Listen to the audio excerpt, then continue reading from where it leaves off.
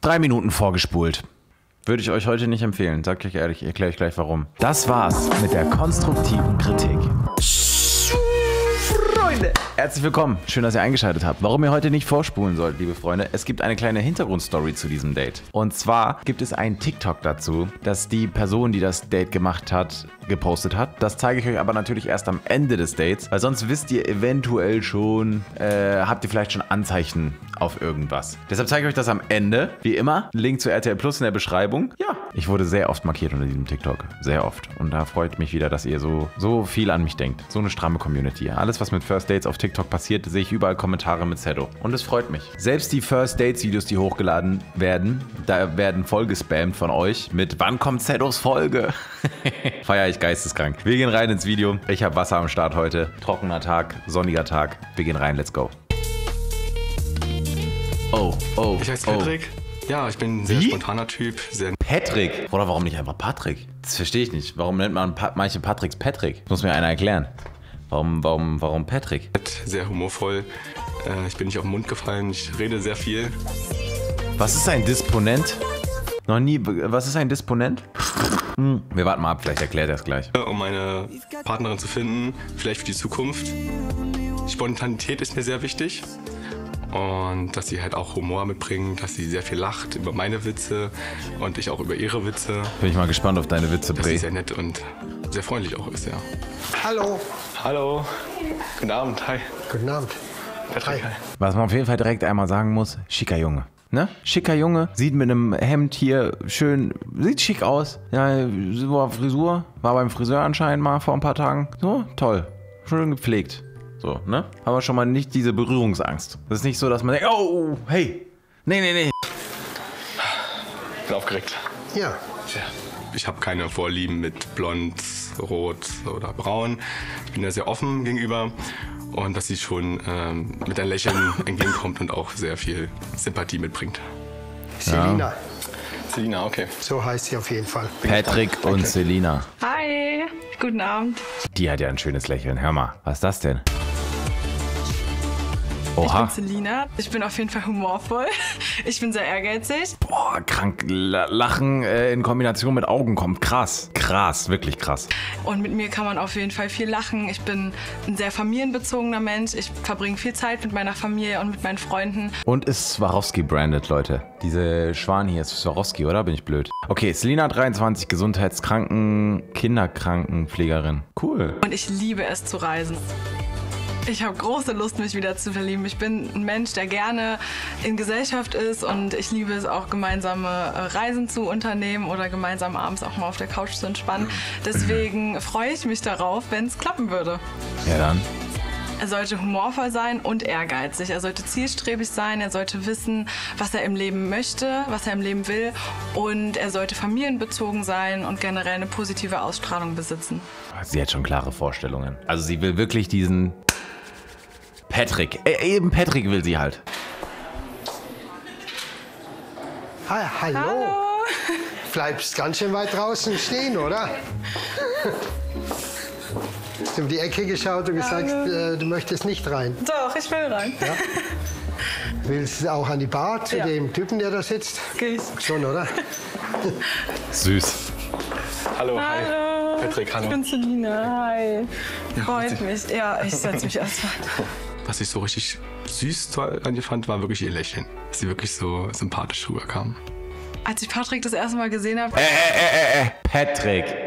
Patrick. Also jetzt, wenn er schon Patrick heißt, dann nenn ihn auch Patrick. So, da will ich jetzt nicht großartig hier diese... Da kann man auch mal diesen kleinen Umweg machen. ich mir, ja, der sieht gut aus. Und als er dann auch so angefangen hat zu reden, also super angenehme Stimme hat er auch. Und ja, also ich würde sagen, das ist mein Typ Mann. Wo kommst du her? Ich komme aus Berlin und du? Nein, wirklich? Ja. Aus Potsdam. Wirklich? Ja, also Berlin und Potsdam ist ja. Ja, das geht. Und Potsdam ist das cringe Berlin, oder? Also, oh, guck mal, ich erkläre es euch jetzt. Also, nicht, dass mir gleich wieder alle aus Potsdam schreiben. Äh, Hab dich deabonniert, du Wichser. Also, sagen wir mal, äh, Klassenfahrt. Ne? Es gibt die Option Berlin oder Potsdam. Lehrer entscheidet sich für Potsdam.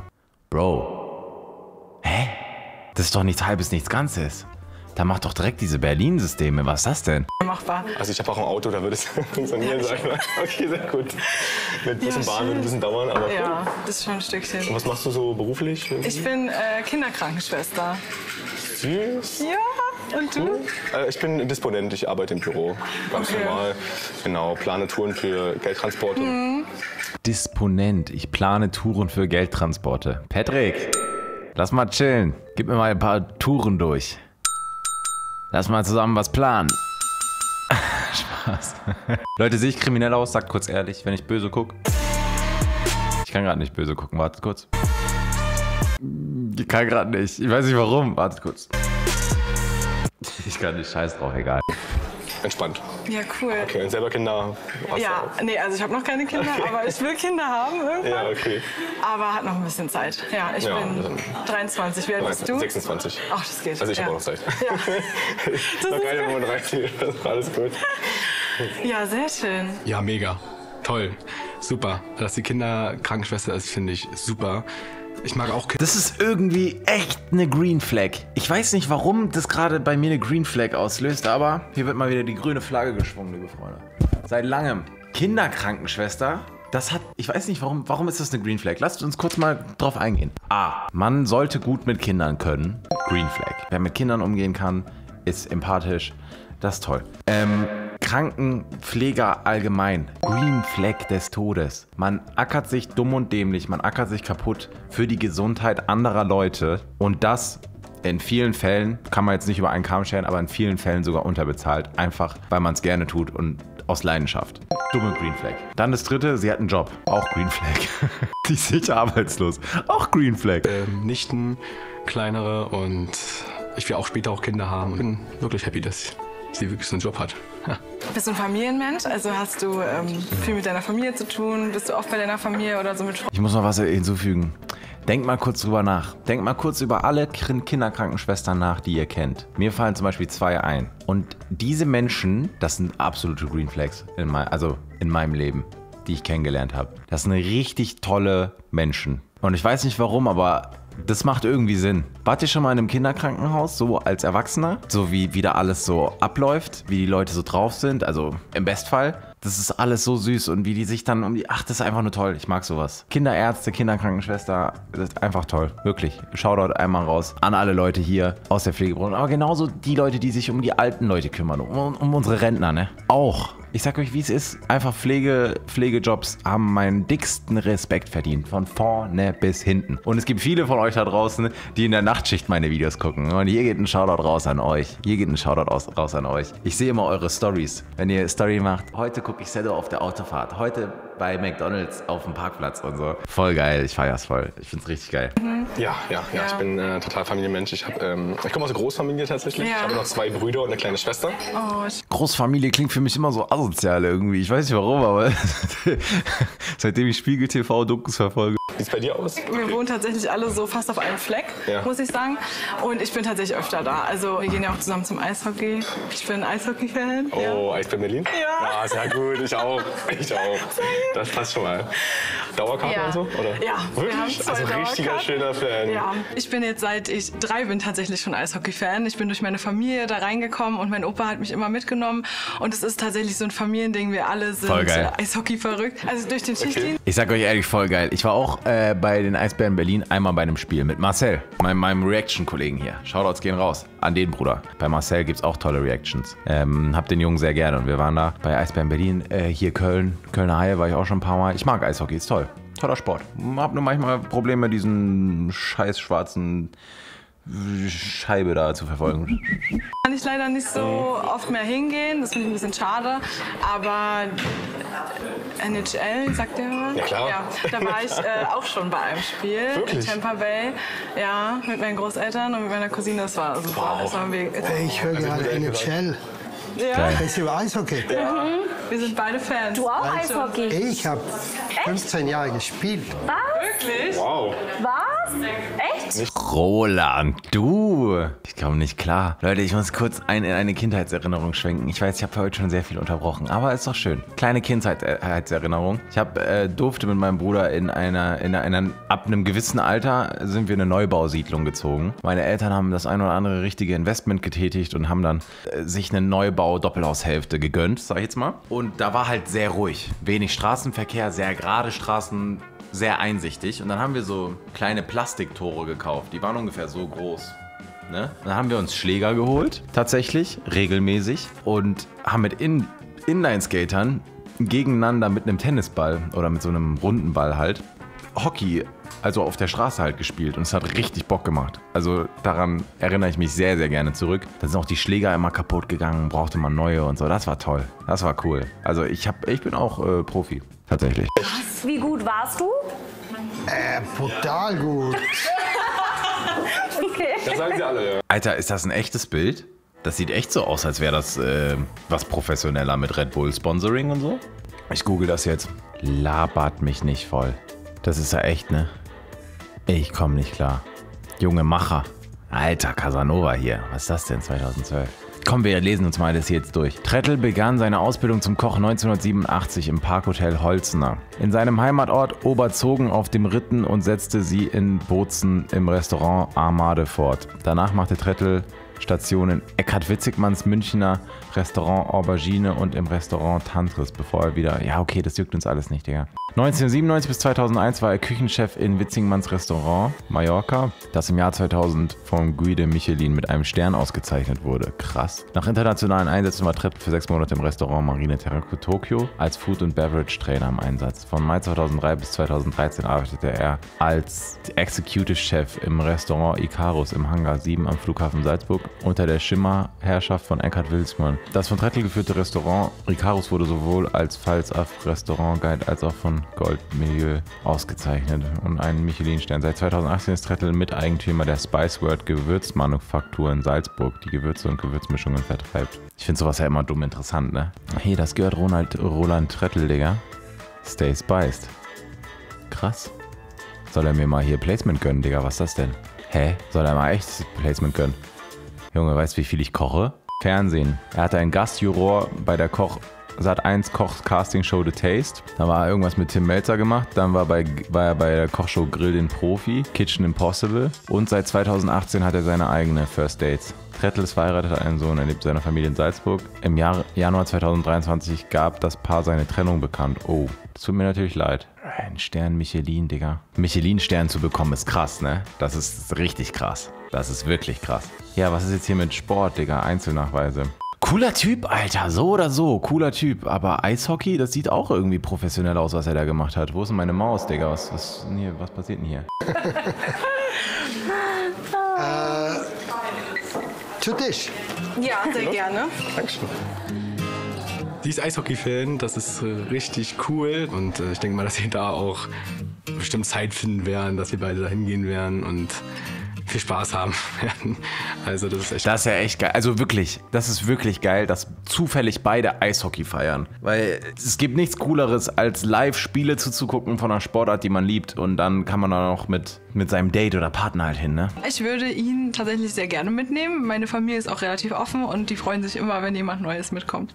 Hast du noch weitere Interessen so? Also hast du irgendwelche Hobbys oder? Also ich gehe ins Fitnessstudio, mache so Krafttraining. Ich versuche mal so zweimal die Woche zu gehen und ansonsten viel Bewegung. Ähm, ich habe auch abgenommen die letzten drei Jahre, 39 Kilo. Doch sehr viel gemeinsam, ne? Du auch? Wie viel? 39 Okay, ich Kilo. bin mit 20 gewesen, ja. Wirklich? Digga, 39 Kilo abnehmen ist so stark.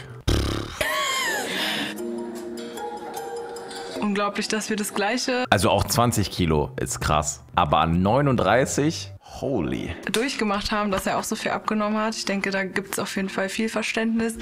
Seinerseits auch und meinerseits, wenn man gemeinsam so einen Weg gegangen ist. Ich hatte einen Nebenjob, da musste ich immer, ja, was war das, so ein, so ein Mi- Autorückwagenvermietung. Also wir sind im Parkhaus im Schönefeld, musste ich Autos hochfahren, dann runterrennen die Treppen, also so vierte Etage damit. Ja, und dadurch dann halt 20 Kilo Krass. abgenommen.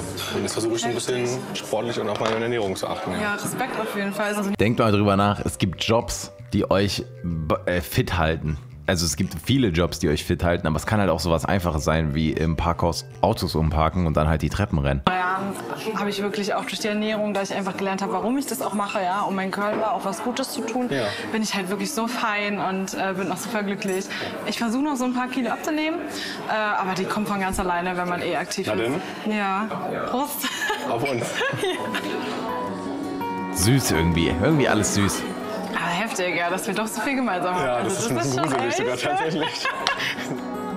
Das schweißt wirklich zusammen. Und da baut man auch sehr viel Selbstbewusstsein natürlich auch auf und man, geht, man stellt sich die Ängste und daher denke ich, dass äh, bei uns relativ schnell der, die Angst auch weg war.